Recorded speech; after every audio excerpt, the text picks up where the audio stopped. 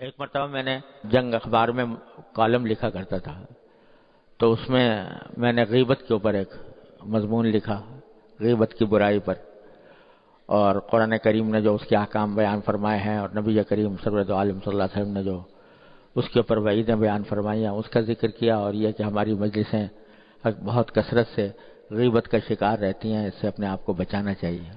तो एक साहब का मेरे पास ख़त आया और प्रोफेसर साहब थे।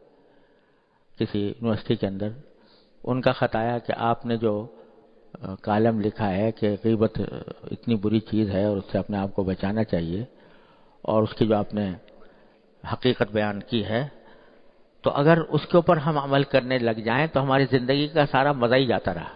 हमारी ज़िंदगी का लुत्फ ही ख़त्म। आपके अगर कॉल पे अमल करें तो ज़िंदगी का मज़ा ही ख़त्म। इस वास्ते कि हम लोग बैठते हैं मजलिसों के अंदर और वहाँ पर ज़रा खुश तबी की बातें होती हैं। किसी का ज़िक्र आ जाता है तो उसके बारे में कोई फ़िक्रा कस दिया, कोई उसकी बुराई बयान कर दी, कोई उसके ऊपर तंज कर दिया। इसी से हमारी मजलिस की गर्मी है। इसी से हमारे मजलिस का मज़ा है, लुत्फ है। तो क्या हमारा दीन जो है हमें बिल्कुल ही मुक़ैद कर देता है कि कोई मज़ा भी ना लो और कोई लुत्फ भी ना उठाओ? और ये फ़िक्र कसने की बात भी ना करो और बिल्कुल ही बस खामोश बैठे रहो। तो ये तो बहुत बड़ी तंगी है जो आपने अपने मजमून में लोगों को उसकी तरफ़ दावत दी है। तो बेचारे ने ये मुझे बहुत दर्दमंदी से ख़त लिखा कि ये आपने एक ऐसा सिलसिला शुरू कर दिया है कि उसकी वजह से अगर लोग उस पर अमल करेंगे तो ज़िंदगी का मज़ा ही जाता रहेगा। तो मैंने उनको खैर जवाब लिखा, मैंने कहा कि भाई, ये जिन लोगों की बुराई बयान करने से आपको लुत्फ आ रहा है, अगर कोई आपकी करे, आपके पीठ पीछे उसकी मजलिस अपनी गर्म करे, आपकी बुराई बयान करके, आपके ऊपर तंज करके, आपका मज़ाक उड़ाकर, आपके ऊपर फिक्रे कसकर तो जरा दिल पर हाथ रख के बताइए कि आपको क्या मिलेगा, क्या होगा? क्या आप ये कहेंगे कि हाँ भाई तू अपने ज़िंदगी में लुत्फ पैदा कर और अपनी ज़िंदगी में लुत्फ पैदा करने के लिए मेरा मज़ाक भी उड़ा और मेरा तंज, मुझ पर तंज भी कर, मुझ पर फिक्रे भी कस और जो जितनी बुराई मेरी चाहे बयान कर। तो आदमी दर हकीकत ये गीबत में ये बात भूल जाता है कि जो काम, जो सलूक मैं दूसरे के साथ कर रहा हूँ, अगर दूसरा मेरे साथ करेगा तो मुझ पर क्या गुजरेगी? तो अल्लाह तबारक व ताली अपने रहमत से हमारी फ़हम दुरुस्त फरमाए। नबी करीम सरवर आलम वसल्लम का इरशाद है कि अहिब अली अखी कमा तोहिबुल नफसिक, वकराह ली अखी कमा तकराहुल नफसिक। अपने लिए भी, अपने भाई के लिए भी वही बात पसंद करो जो अपने लिए पसंद करते हो। और दूसरे के लिए भी वो बात नापसंद करो जो तुम्हें अपने लिए नापसंद है। हमने दोहरे मैार बना रखे हैं। अपने लिए कुछ और और दूसरे के लिए कुछ और। उसकी वजह से सारी खराबियाँ हैं। अगर आदमी हर जगह जब किसी शख्स के साथ कोई सुलूक कर रहा है तो उसको उसकी जगह अपने आप को बिठाकर फिर देखे कि अगर मैं जो सलूक उसके साथ करने जा रहा हूँ, कोई दूसरा मेरे साथ ये करेगा, करता तो मेरे ऊपर क्या गुजरती। ये अगर आदमी सोचने लगे तो बहुत सी खराबियों को सद्देबाब हो जाए। लेकिन हमने दोहरे मैार बनाए हुए हैं। अपने लिए कुछ और है, दूसरे के लिए कुछ और है।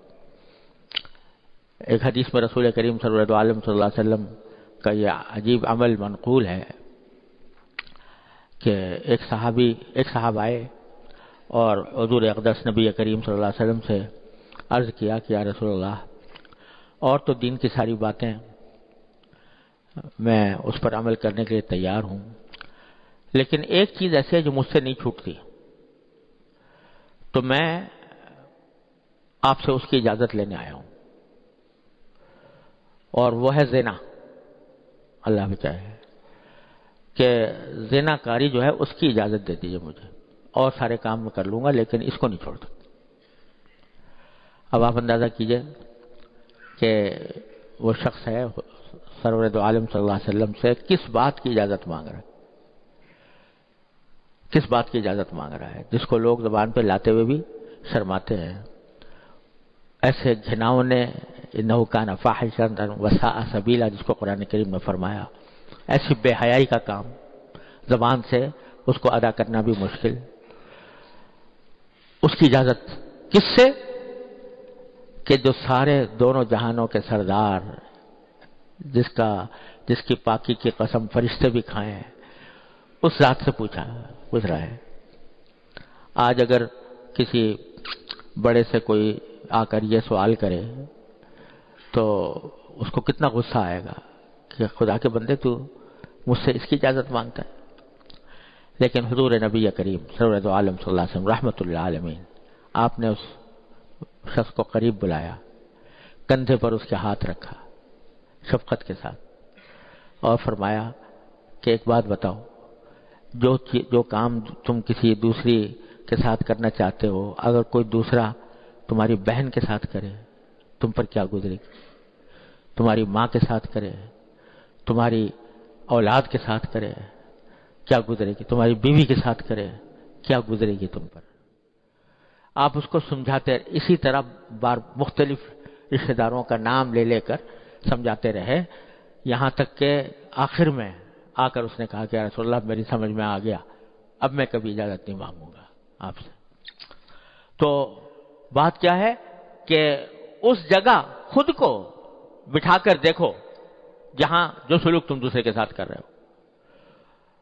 ये हमारा, आजकल लोग कहते हैं कि निगाहों की हिफाजत नहीं होती। बदनिगाही ना महरमों को लज्जत की गरज से लज्जत हासिल करने के लिए देखना। एक बला है जिसमें जो फैली हुई है चारों तरफ़। उसके बारे में लोग बकसरत कहते रहते हैं, लिखते रहते हैं, हमसे छूटती नहीं। ये बला हमसे छूटती नहीं। आँखें का धोखा कहीं ना कहीं हमें खयानत में मुबतला कर देती हैं। लेकिन आदमी अगर उस बात को सोचे जो हजूर सरवरद आलम सल्लल्लाहु अलैहि वसल्लम ने फरमाई थी कि जब तुम किसी नामहरम को लज्जत लेने के लिए बुरी निगाह से देख रहे हो, अगर कोई दूसरा तुम्हारी बीवी को देखे, तुम्हारी माँ को देखे, तुम्हारी बहन को देखे, तुम्हारी और किसी रिश्तेदार को देखे, तुम पर क्या गुजरेगी? क्या ये कहोगे कि भाई इसके बगैर तो ज़िंदगी बेकार है? इसमें ज़िंदगी का मज़ा ही खत्म हो गया। लुत्फ ही जाता रहा। अरे अगर तुम्हारा, तुम्हारे अपना लुत्फ लेने के लिए दूसरों की इज़्ज़त पर डाका डालना डाले बगैर तुम्हारे मज़ा नहीं आता तो दूसरों को भी तुम्हारी इज़्ज़त पर डाल, डाका डालने का हक होना चाहिए। लेकिन उसको तो तुम गवारा करते नहीं। और दूसरों की इज़्ज़त पर डाका डालते हो अपनी आँखों से तो ये यह दो अमल, यह दोहरा मैार। आदमी इसी बात को अगर सोचे तो बहुत बड़े फितने से, आँखों के फितने से इंशाला नजात मिल सकती है। अल्लाह ताला अपने रहमत से हम सबको नजात अता फरमा